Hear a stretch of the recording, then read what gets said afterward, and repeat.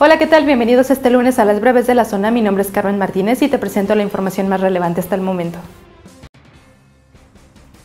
El presidente Andrés Manuel López Obrador dijo hoy que no es un tema personal en contra del fiscal Carlos Amarripa Aguirre.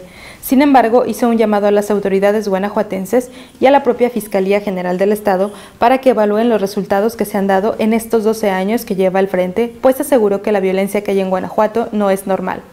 Además, respaldó las declaraciones del fiscal general de la República, Alejandro Gertz Manero, para que se investiguen presuntas irregularidades cometidas por la Fiscalía General del Estado tras la liberación de los integrantes del cártel de Santa Rosa de Lima.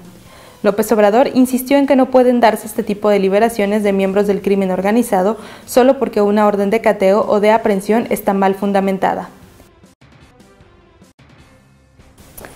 Junio fue el mes que menos víctimas de homicidio doloso tuvo León en lo que va de este 2020.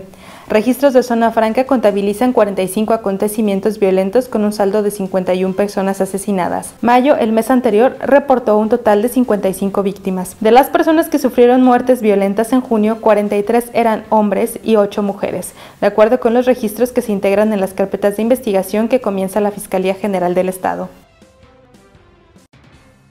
En pleno pico de contagios de COVID-19, el alcalde de la capital, Alejandro Navarro Saldaña, decidió atender la pandemia desde la playa. Al parecer para el alcalde capitalino no aplica la indicación nacional de quédate en casa, pues se le vio viajando acompañado de su esposa Samantha Smith, presidenta del DIF municipal, a las paradisíacas playas de Cancún, Quintana Roo el pasado fin de semana. Sus vacaciones fueron exhibidas en redes sociales por un usuario quien aseguró haber visto a Navarro en el aeropuerto y en el avión que aterrizó en aquella ciudad.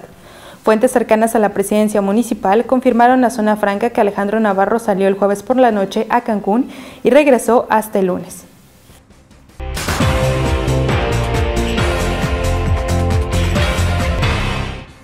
Quédate pendiente de todo nuestro contenido en zonafranca.mx y no te olvides de seguirnos en nuestras redes sociales.